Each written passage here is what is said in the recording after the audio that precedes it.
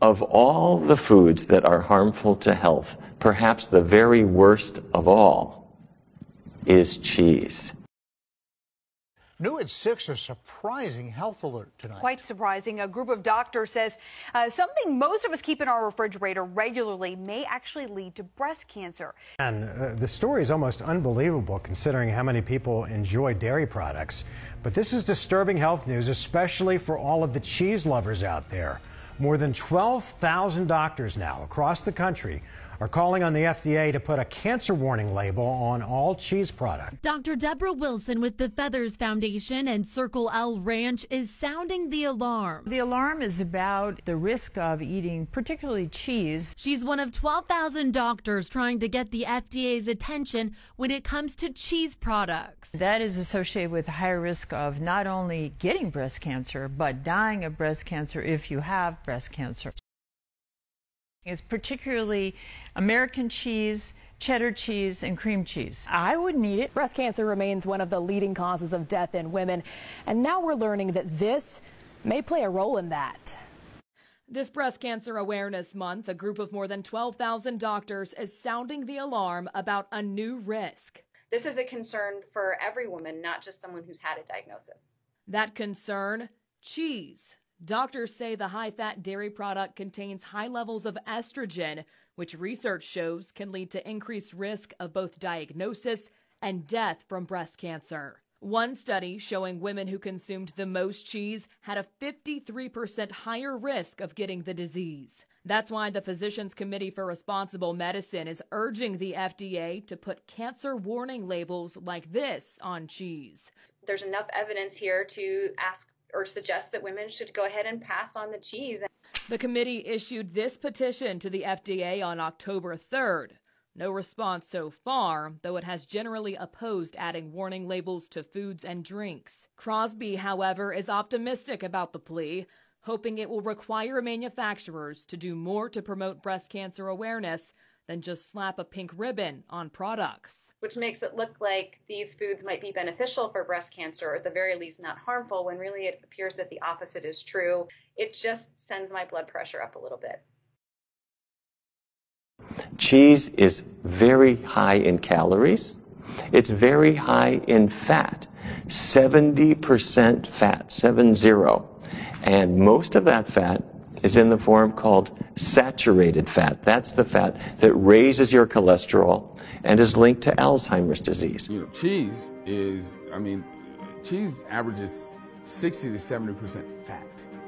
When you take, you know, two gallons of milk and concentrate it, concentrate it down to a pound of cheese, you got all of those morphine-like reward compounds concentrated in that cheese.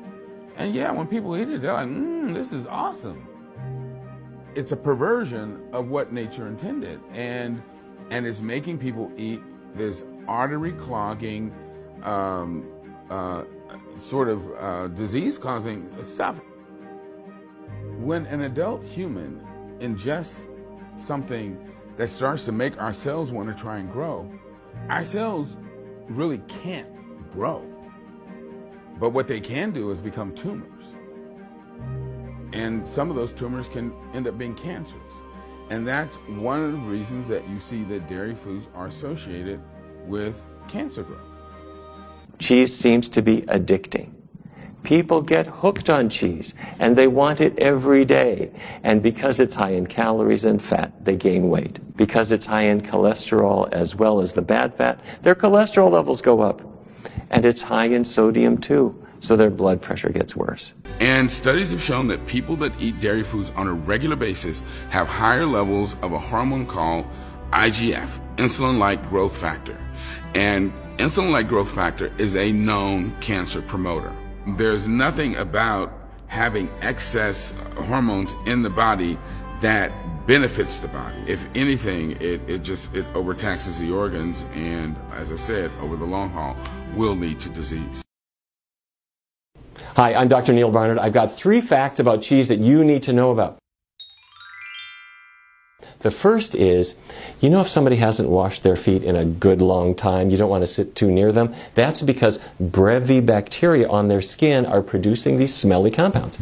Well, those very same bacteria are used to produce Munster and Limburger and other stinky cheeses.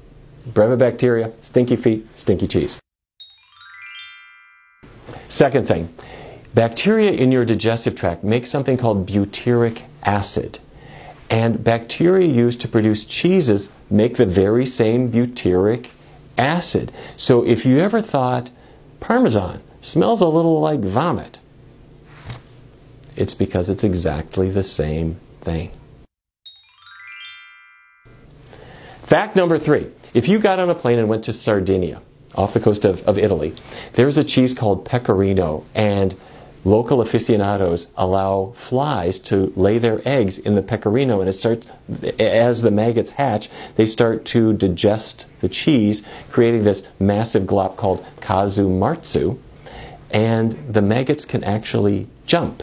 So you spread it very quickly on some flatbread and you put a card under your nose as you shove the casu marzu into your mouth, hoping not to get struck by a leaping maggot. Pretty, isn't it? The dietary guidelines need to be changed so that the dairy recommendation is removed entirely. As I said, dairy is not a food, it's a material. And, you know, you can choose to do it, but you don't have to. And because of the health consequences, you shouldn't. So if you're thinking about which foods should I break free from, number one on the list ought to be cheese.